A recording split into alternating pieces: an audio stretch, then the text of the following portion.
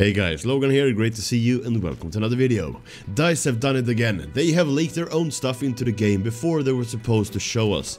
These leaks were put on Reddit and it shows how the Chauchat machine gun accidentally were put in the game because of a UI bug. I don't know how the bug occurred, but I'm sure after this leak, DICE will try to fix it as fast as possible. I actually made a video a while ago on leaked dog tags that teased us of upcoming weapons in Battlefield 5. It's funny that the Chauchat is the one accidentally getting into the game when the Chauchat wasn't even on the leaked dog tags. Well, the Chauchat was a standard light machine gun or a machine rifle of the French army during World War 1 and that's why all of you Battlefield 1 players recognize this weapon.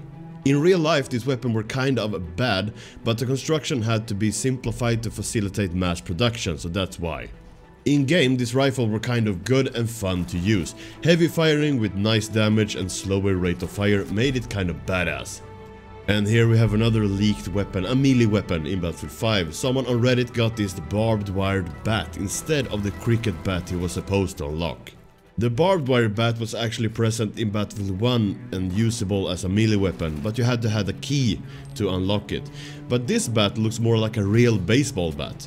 I have the cricket bat in game right now and it's so fun to use, but to be able to use this bat instead would be awesome. Okay, there you have some short update on the leaks in Battlefield 5 right now. Thanks to Danny on PC for lending me his footage for this video, check out his channel in the description. Thanks for watching, make sure to subscribe, click the notification bell, leave a like and don't forget to leave your comment down below. I hope to see you all in my next video, this is Logan signing out.